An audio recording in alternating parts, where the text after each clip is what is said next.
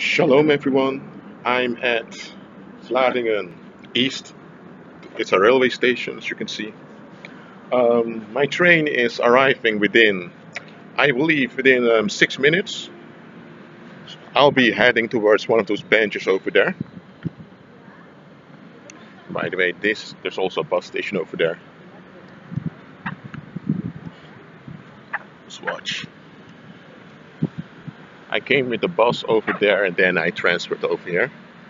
And the train towards um, Hoek van Holland, towards the, towards the beach, is already coming from there. And there's a highway behind me over here. Anyway, um, oh yeah, there are the benches. But I'm going to walk to a bench much, much further away. Well, I'm glad you're watching my videos. I'm also glad you're watching this video. I really, appreci really appreciate it.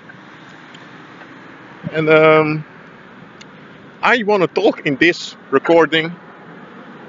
I want to talk about. Um, oh, hold on a minute. I need to check how I get the best light on the, in the camera. Oh, this way is good. You know, guys, walking in the Spirit is very powerful. I often talk about it.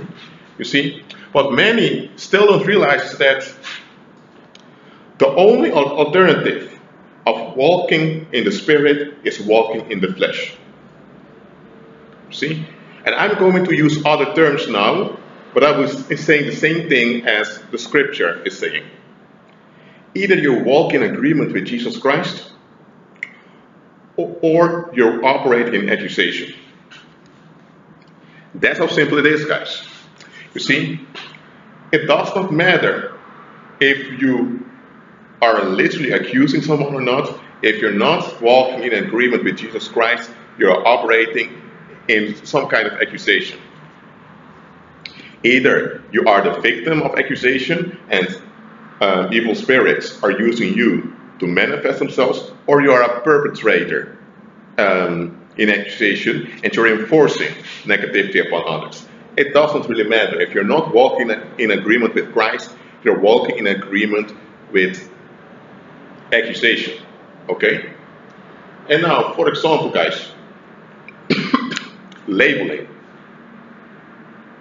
What is labeling? I'm going to give an example now. Let's say you have a guy Let's call him Jack.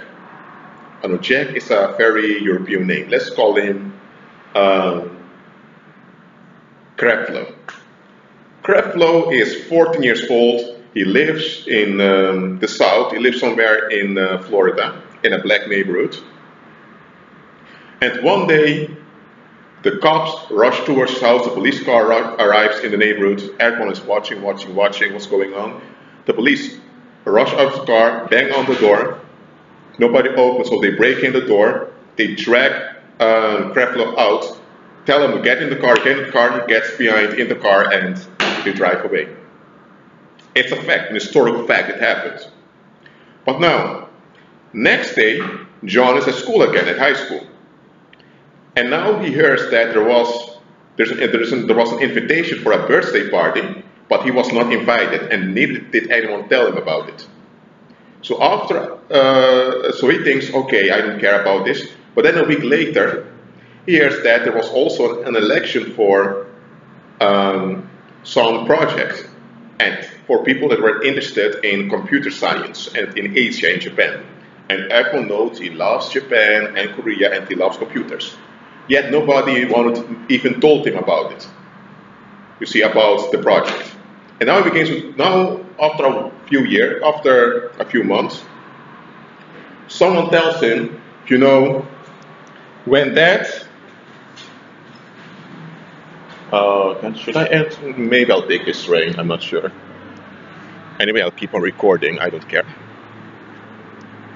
Hold on guys, I'll continue with my parable.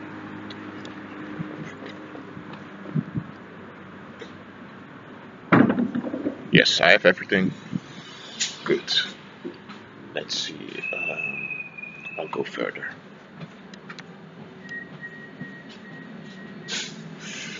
I just sit here. Okay. Okay. So after a few months, someone from school tells him, Creflo, when the cops came at your house and you went with them, people made conclusions about you that didn't that didn't make any sense. But people felt guilty about it, but they don't want to admit that they caused harm to you. And other people went too far with it. So now nobody talks about it. The people are just pretending, but there's an accusation upon your life now. And people don't want to admit that they are wrong. So you will have to find a way to deal with it. So now look at this carefully. Yes, the cops came at his house and they took the cops, rushed in and took him away. But what was going on? Creflo's mother was in the hospital. She just had an accident. Oh, hold on. And to show my device, not my device, I mean my transportation cards. Here it is. For you? Ja, weer goed. Dank Okay. u. You see, his mother just had an accident, and a fatal accident, and she was on the ER. So that's why the cops came at his house immediately to bring Creflo to the hospital. Now, that's why they came at his house with such force because it was an urgent situation. It was not because Creflo did anything against the law, nor because he broke in, nor that, that did, nor did he commit a murder or anything. It was a it was a circumstance that needed his attention. Nieuwland. But the people did not want to believe it. They already made up their mind he's a black guy, he's an Afro American, his father is often absent, and he's 14 years old. So the cops came the house, so he must be into criminality, he must be a, be a bad guy, he must be a bad influence. And there was no evidence whatsoever to back it up, but they formed an accusation based on what happened. You see? And then, guys, I can give another example because I don't want to give too much Afro American examples, even though I'm good in it. Do not, I don't want to give a bad uh, impression to you. So I'm going to give a so called white example now. Let's say you have, um, you have a girl, her name is Celine. Celine is 16 years old. All right, and she.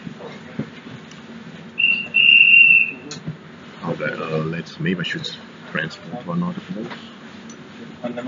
You know, I'll do just that. Hold on.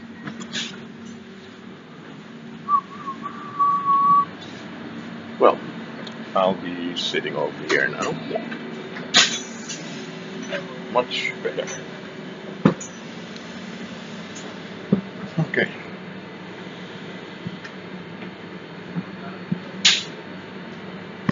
Or a better way to sit around here. Okay, now you have this girl, her name is Celine. She's 16 years old, and she one day she uh, when she appeared with a blue eye, or they called it blue eye in Dutch. I know it's in English. Anyway, she had a wound around her ear. She was beaten around her eye. Mean, she was beaten, and Celine often wears short skirts. Uh, she wears nylon. She wears high heels, and she loves red lipstick. So when she appeared with a beaten eye, her peers and also the parents of other of those peers and also some of the teachers began to say, hmm, probably she had a bad customer. Probably the sex wasn't that good as a customer wanted, or maybe her father finally smacked her and brought sense into her. What they're not aware of is that um, her stepfather Het volgende station is Schiedam Centrum. Hier kunt u overstappen voor Delft, Den Haag Centraal en Amsterdam Centraal. U kunt hier overstappen op het metronetwerk van Rotterdam. Yes, I'm on my way to Rotterdam Denkt u now. eraan om uit te checken bij uw aankomststation of als u overstapt naar een andere vervoerder. Deze sprinter rijdt naar Rotterdam Centraal. Alright. Now, but what they're not aware of is that her stepfather is a born again Christian. And that that girl has an uncle that's sexually molesting her. You see? They're not aware of all of that. They're just thinking she's a promiscuous whore and she's just, you know what, she deserved it. That's also labeling. Now, the two examples I've given you, they both involve two victims who had the spell of accusation placed upon them by people that were envious of them. Because what Dames en heren, goedemiddag. shut up. Deze sprinter rijdt naar Rotterdam Centraal. You know, what Creflo was not aware of was that there were a lot of peers and parents of those peers, and also some of the, the professors and teachers, they were envious and angry that Creflo had so much talent in computer science and that Creflo had ambition to go to Korea and Japan. So secretly, they wanted something bad to happen to him so that they can feel good about themselves. What Celine also didn't realize was that some of that her own mother is envious of her and is uh, accusing her behind her back all the time. And what she's not also not aware of is that the, the accusations of her mother, that negativity, also caused indirectly her sex, the, the sexual abuse she underwent by her uncle. See, she's not aware of the spiritual and all of that.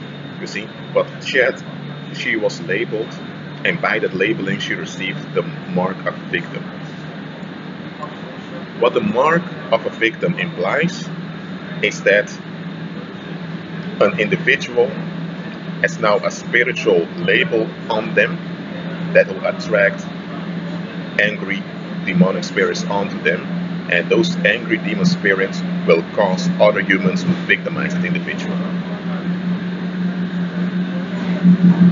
And the mark of a victim, you see, a mark of victim, I mean, is something that only can be enforced upon you by a perpetrator. You see, you can disagree with it.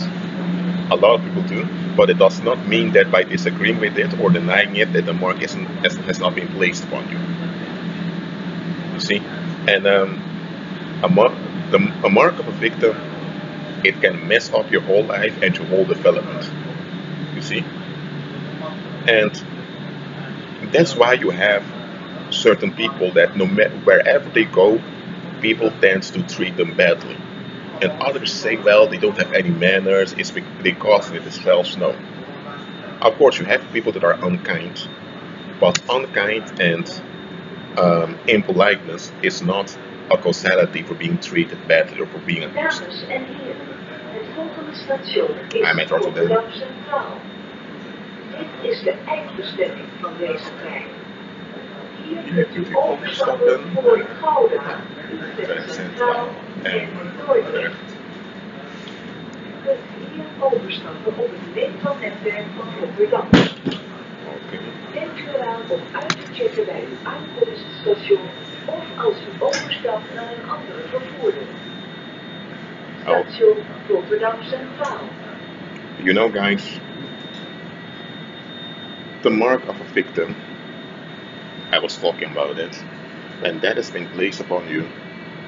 it will cause, because there are demons that are attached to you because of that mark, it will cause people to treat you badly and to, it will cause things to go wrong for you. Okay? And it doesn't matter how polite, how well mannered, how good to treat others, it's something spiritual attention that's been placed upon you by the negative agreements of others about you. So that's why you have a lot of people who are terrified about what others think about them. And often I used to do that also. I would say to such people, get over it. Um, I'll go over there. I would tell such people, get over it. What others think about you, that's their problem. You see, but that was a too simplistic way of thinking. You see, it's not that simple because those negative agreements are placed on you by others. And, oh, maybe I'm going to the lounge. Well, hold on. No, not going over here. I'll go downstairs. You see? Because those people that agree negatively about you, most of the time they don't repent. So, what many people think is if I can just give the right impression all the time, I'll be left alone. And um, this way of thinking is backwards because what happens now hold on what happens now is that you agree with your perpetrators against you. And by doing this before you know it you are the perpetrator. By the way this is rotterdam rhyme now. Behind me you can see it. Um, so, what I want to say about labeling, and as you guys know, I don't care what people think about me. That's why I'm walking around with my netbook, with my on my, with my webcam on my netbook, making this video in public, outside. Some people look at me strangely. I don't care. What I want to make clear about labeling is that it's real it happens and it harms. And as I mentioned before in the video, that's why that's why you need that's why you need to operate in agreement with Christ. You need to do that. You see, there are many believers who are holding on to traditions, holding on to good manners, holding on to this and that, instead of letting things uh, uh, instead of letting things go and agree completely with Christ. Because listen, every agreement, every establishment that's not established by Christ or in uh, harmony with Christ, it's established and in harmony with demons. It's one of the two. There is no there's no neutral ground. And you know, guys, there are some of you who are watching this, or maybe many of you, who have marks of victim of victimhood upon you. Okay? And you need deliverance from that. So people can pray for you and all of that, but you need to get in agreement with Christ. Because what happens is often after a while you agree so much with the mark that's been placed upon you that you've become the accusation that people accuse you of. You see? And then it's well, then it's a bit complicated because even if the mark is removed, the mark has been unused for so long that you begin to resemble the accusation that was placed upon you. Anyway, it doesn't matter. The blood of Jesus Christ is powerful enough to break all of that. Just agree with the blood. Agree with Jesus. Agree with Him. Well, I'm going to walk through town a little bit. I'll meet some people soon. And guys, again, the blood of Jesus Christ is very powerful. Agree with Him. Agree with Christ. Shalom, people.